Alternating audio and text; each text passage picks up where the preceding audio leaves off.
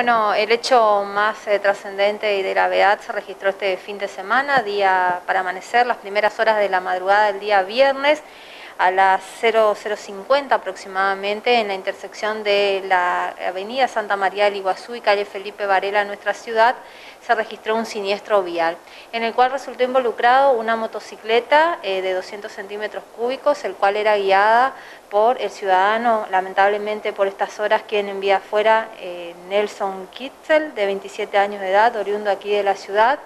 eh, a raíz del impacto que se produce con otro motovehículo, eh, se produce en el acto prácticamente eh, la caída sobre la cinta asfáltica y el posterior traslado hasta el hospital local donde permaneció desde el día viernes hasta el día de hoy en horas de la madrugada en un estado muy grave con un pronóstico reservado. ¿sí?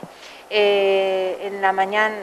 madrugada, mañana de hoy, día lunes, eh, examinado por el médico policial, el doctor Cavernaro, bueno, diagnosticó la muerte de este joven debido a las graves lesiones sufridas.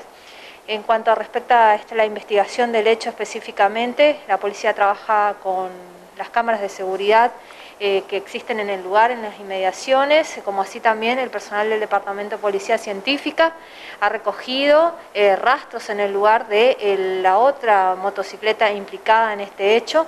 Eh, por lo cual también si alguna persona tiene algún dato...